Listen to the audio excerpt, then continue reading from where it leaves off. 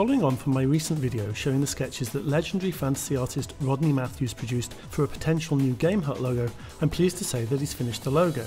Rather than just reveal it as a single image, we thought it would be fun to show a time lapse of Rodney actually creating the logo.